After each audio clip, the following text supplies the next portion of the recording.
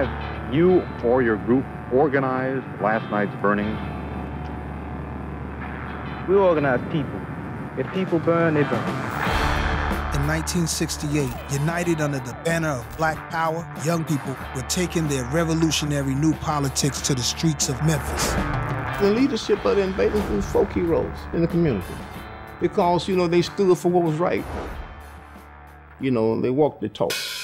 They were just cool dudes, you know. They were like ahead of their time. We all had the same problem.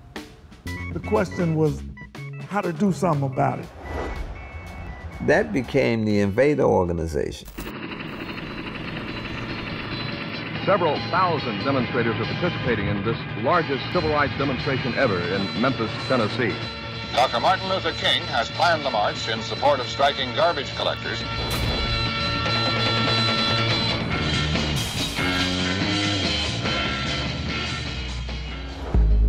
The city of Memphis has willfully attacked the black community.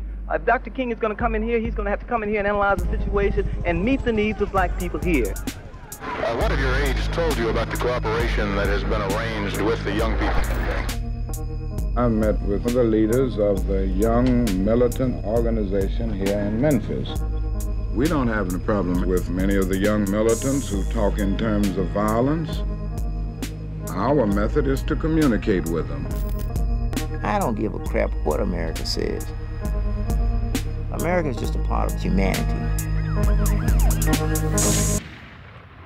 And humanity is not ever going to make a change about anything without what? Some disruption, some actual disturbance.